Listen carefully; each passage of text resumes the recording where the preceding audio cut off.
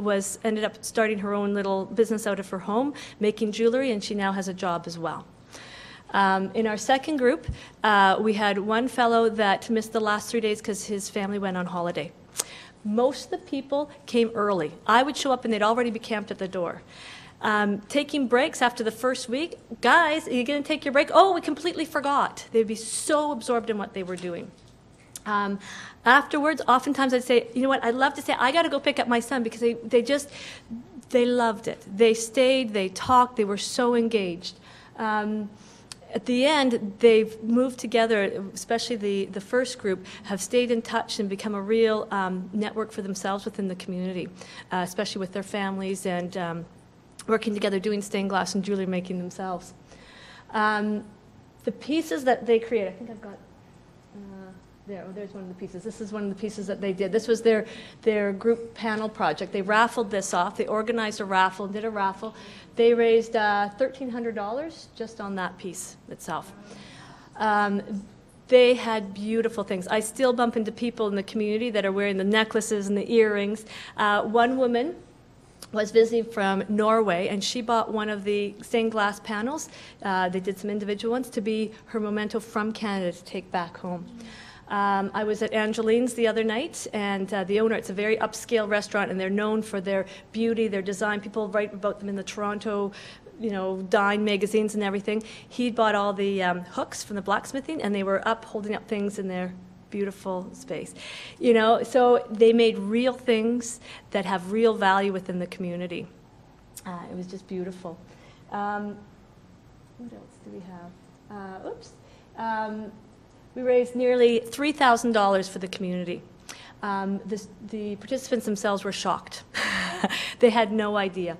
They were in the paper, I think, in, we have uh, three different newspapers, and I think they were in the paper every single week. They did press releases, they promoted themselves, people really knew about their sale. They had the sale in front of the, uh, the Learning Center building, they had lots of traffic through. Um, we had people coming up afterwards saying, Where can I get this? Where can I get that? uh, a real sense of quality and a, a, real value, that what they made actually had value. Um, it was fantastic. Um, I think a really big thing for me was seeing how the team formed. Taking the essential skills and forming it in the way of a business and really working on the team as opposed to individual learning was huge that to me was, was what was key for them to really delve into their essential skills and really push those complexity levels of how they engaged. Um, I think that conflict was really great. One of the exercises I, I, gave them at the beginning, you guys can do this. Take your thumbs and push them together as hard as you can. When you feel that that's conflict, you know, oh yeah, when, do you, when does it feel like that? Sometimes when I'm trying to learn, it feels like that. Sometimes when I'm at, you know, at work and you know, push harder, push harder. I said, now what happens if you drop your right elbow? You feel this extra energy go shooting out. We talked about conflict as energy you know, and how you direct it. You know, and some people say, well, that's like giving in. It's like, yeah, you can go in and it'll go completely in the wrong direction, not the direction you want. How can you use that someplace else? That's also the creative tension. You know, this is what artists feel. This is what entrepreneurs, because they're really artists as well, that's what they're feeling. And that's the energy that they want to unleash. So you need to be able to facilitate that energy.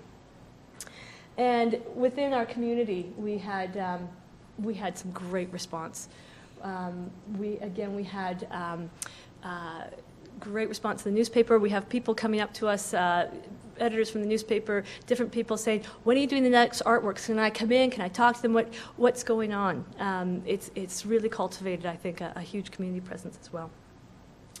Um, successes personally, the participants really identified realistic personal goals every single day we did reflections and out of those like what were the highlights? What actions are you going to take? At the last week it was all about action plans. Um, they, we did the PDQ testing before and afterwards so they had a nice profile of some of their literacy challenges um, and um, each one of them was hooked into uh, the next steps, whether it was the Learning Center, whether it was Loyalist College, whether it was Career Edge. Um, they had a resume, they had a cover letter, they had references. Uh, one woman after the program, she, she said, you know what? She got a job, and she said, The only reason I got the job was artworks. She said, That's all the owner wanted to talk about. He wanted to talk about the team skills, he wanted to talk about the conflict, he wanted to talk about all the things I learned in, um, in artworks. Uh, so it, it, really worked. um, I think a big thing is they demonstrate to themselves what they could accomplish. They had something physical. They had things they could sell. They had community um, value. Um, they really engaged. It wasn't just about their own personal learning and getting the certificate. It was about so much more. Um, well, this is part of the, the marshmallow challenge here. Uh, it was just a, an overall uh, great way of, of presenting the, the skills. Some of the lessons learned, trust the process. Sometimes it's kind of messy. Sometimes you're sort of going, is this really going to work? The individuals, the collaborative learning model is essential um, because the learners actually bring 98% of it. All that I did, all that we did was facilitate. We created an environment of inquiry. We gave them tools to be able to better see themselves, to be better able to communicate. We gave them some structure and some skill with the Leisha curriculum, and we gave them an opportunity to demonstrate uh, real life business and what they would really feel like in the business. Um, the collaborative learning was huge, especially in essential skills. It's not out of a textbook. It's something that is living and breathing. And again, to demonstrate those complexities and understand the complexity levels of the essential skills, that's really what we want to get. Everybody has functioning levels of essential skills. How do we deepen those? How do we really access that the different complexity levels so that they can really function, uh, especially in our creative rural economy? Um, community was huge for us. It, it, always has been with the Learning Center, and the Learning Center has cultivated uh, a community relationship that's been really strong. But um, it really connected these individuals who had not been connected before into the greater community. Um, they were able to demonstrate to themselves and to the community their value. Um, they walked into businesses they'd never walked into before one group I did the scavenger hunt for blacksmithing. So blacksmithing? There aren't any horses around here. Why do we need to do blacksmithing? So we went on a scavenger hunt to see if they could find things that were blacksmith. And one of the places I said you need to go was this art gallery. And two of the learners went in there, and it just so happened that the blacksmith from Bloomfield, not the blacksmith I'd be teaching him, was coming in with a piece that he had made and Bruce, the blacksmith, uh, they, they went, they said, oh, this is blacksmithing. And they, they told him about the program that they were in. And they were late coming back to class, and they were all apologetic because they spent 45 minutes talking to a blacksmith in an art gallery. This would never have happened before. They would never even walked in there before. But they were able to talk as equals because they said, we're doing blacksmithing too. Uh, it was fabulous, these connections, and, and that they were worthwhile, and that what they had creatively meant something, and that they were equals. Um, the arts based programming was fantastic. Again, um, Leslie, your, your Alicia program is fantastic. And again, there's more just than the arts based, but there's the welding, all those things. I strongly recommend you looking at that. It's a, it's a great off the shelf resource flexible enough to use it in different ways. And I think, like your suggestion of sewing and things, you can start to see where it builds. Because this type of learning, especially for essential skills, we found very powerful. Um, so, yeah. What else? Have I missed anything? I'm sorry, I'm sort of um, rushing a little bit here at the end. Some more, I've, I've been talking for a while. Some more comments, questions uh, that you might have? I wish I had known that Alicia was around because I, I basically started everything from scratch, did everything from scratch. And uh, like I said, we've done with the picnic tables, uh, we had seven students do it.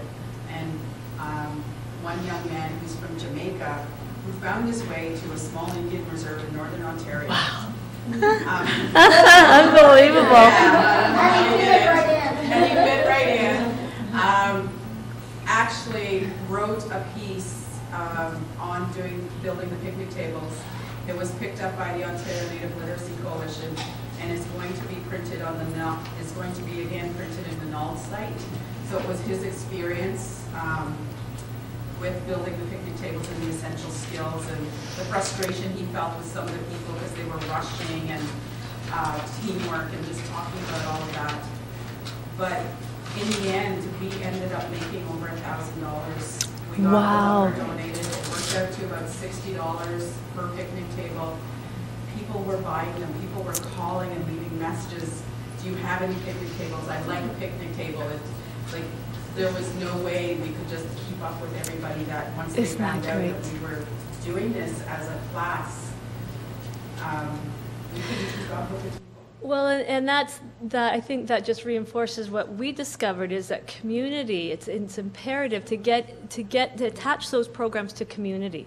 You know, and to really see essential skills in action, that this is what we're talking about. It's not some kind of, something out of a book, that these are real things that are going on, and this is what it feels like, you And know? the one thing with the sewing is, um, again, our MTC rep wasn't too pleased with the fact that we were sewing.